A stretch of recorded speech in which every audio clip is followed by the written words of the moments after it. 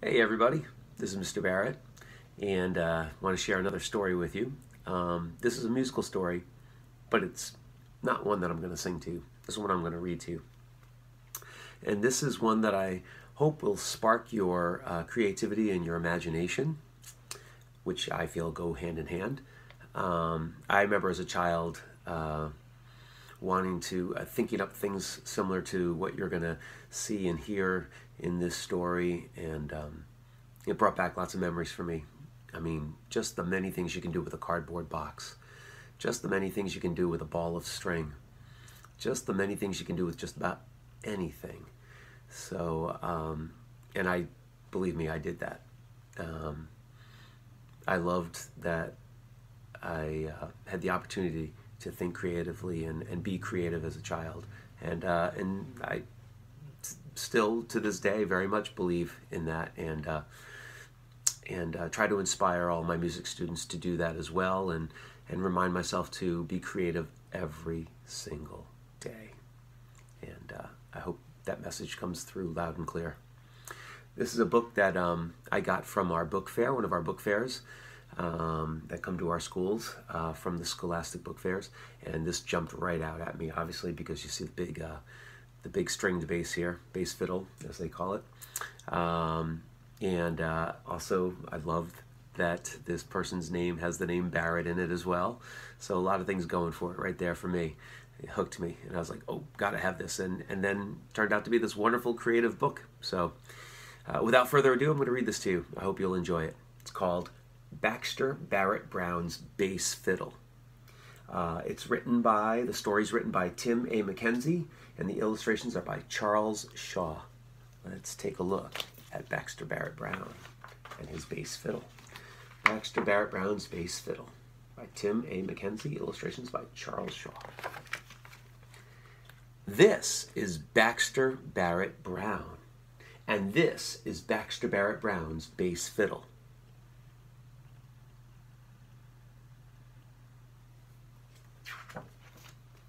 Baxter loved to play the bass fiddle. He loved the big, low sounds it made, and he played it all day long. Then, one day, Baxter decided he wanted to take his bass fiddle with him wherever he went. So he got his bicycle, his hammer, and his wrench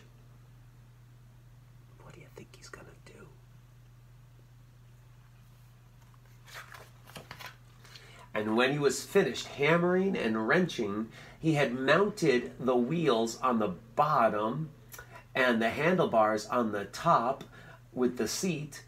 And he put a great big awooga horn on the front and he called it Baxter Barrett Brown's Bass Fiddle Bicycle. Then off down the road he went.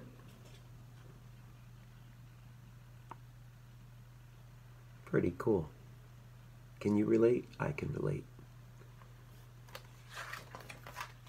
Soon, Baxter came upon a lake. There were all kinds of boats floating on the lake, and Baxter decided he wanted one too. So, what's he gonna do?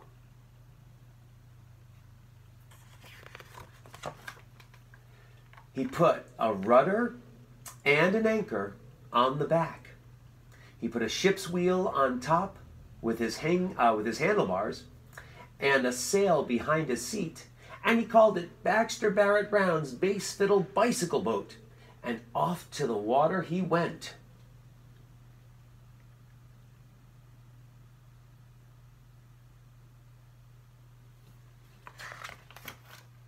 As Baxter was enjoying the ride on his new bass fiddle boat, he looked around the lake and he saw all of the nice beachfront homes on the shoreline. He decided he wanted one too. So, what's he gonna do?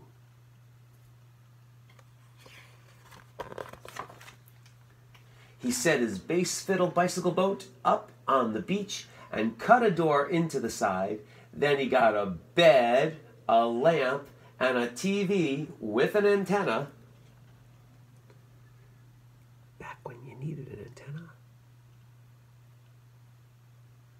Can you imagine what this is going to look like? and a pot-bellied stove with a pipe chimney. Then he built a boat dock so he could do some fishing, and he called it Baxter Barrett Brown's Bass Fiddle Bicycle Boat Beachfront Bungalow. As Baxter was relaxing and enjoying his new beachfront bungalow, he decided this was a good time for a bass fiddle song. So, what's he gonna do?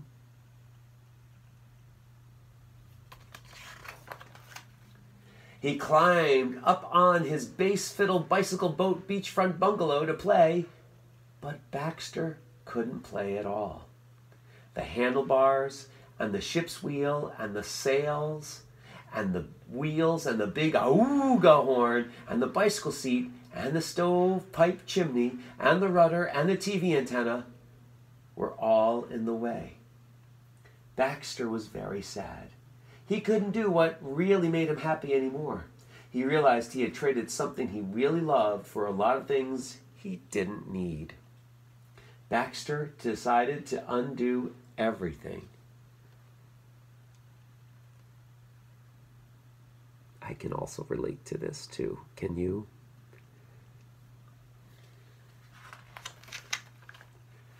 First, he threw out the bed, the TV and lamp, and the pot-bellied stove. Then he took off the TV antenna and the sails and the rudder and the handlebars and the ship's wheel and so on and so on until... Until what? What's coming next? All that was left was the big bass fiddle and lots of room to play it. Baxter loved, he loved having his big bass fiddle back, just the way it had been, just the way it was. But then, but then, then what? Then what? An airplane flew by.